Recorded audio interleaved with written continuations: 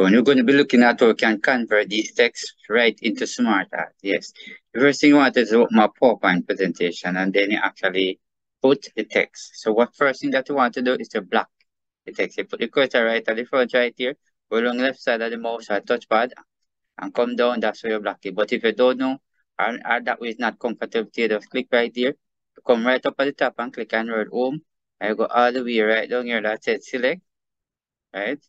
Notice I click right here and select and I click select all. Notice it block everything. Next thing that you wanted to do is to put the cursor on it and right click. Now when you right click, you're going to come right here. That's a convert to SmartArt. You notice the arrow and it display everything. You notice that I put the cursor on it. You notice it start to change. Here and I have option.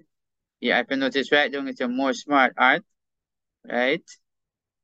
So notice how this one look. Alright, if I click on it, you know it's up here, so I can actually come right here and actually change it just like that. But not only that, I can actually change the color by coming right up here and select, you notice the shape, the colors, and all of that. And if I come right up here, notice I can actually change the style. But if I come right at this go point here and click and go down, I have more style and more graphics that I can actually choose from. Right there, you can also add this to your PowerPoint presentation. Uh, Add that, if you notice, definitely. I'm going to select this one, definitely. So if I put this into slideshow, right, this is exactly how it look like. So if you do like in a demonstration and all that, you can actually use this. And this